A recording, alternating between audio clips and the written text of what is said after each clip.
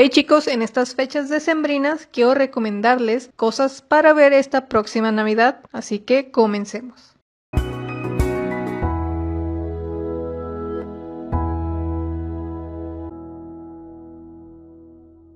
Primero debo aclarar que no existe ningún episodio de Navidad o especial de Navidad en el anime, en las películas. En las primeras tres temporadas sí se puede ver que hay nieve o dan a entender que hace frío, pero el único episodio que encontré donde se puede observar adornos de Navidad es en la segunda temporada, episodio 78, llamado Los cuidados terribles de Mina, cuando Minako va a cuidar a las chicas porque están enfermas. Es un episodio muy gracioso, así que lo recomiendo para que lo vean.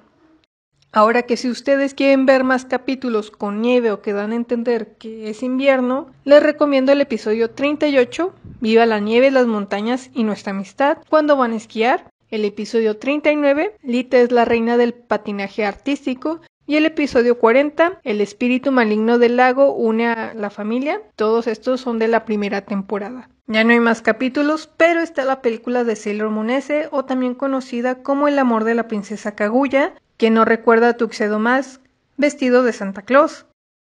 Y lo mejor es que aquí aparecen las Outer, eso sería todo en cuanto a la animación, pero en el live action de Sailor Moon sí hay un especial donde es Navidad llamado Acto Cero, el nacimiento de Sailor B.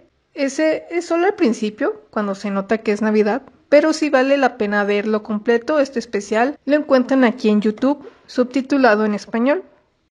Y para terminar, les recomiendo un verdadero especial de Navidad con las actrices de voz de la Ciner, junto con la voz de Artemis es un video de 1993, solo dura 11 minutos, pero tiene subtítulos y se entretienen un rato.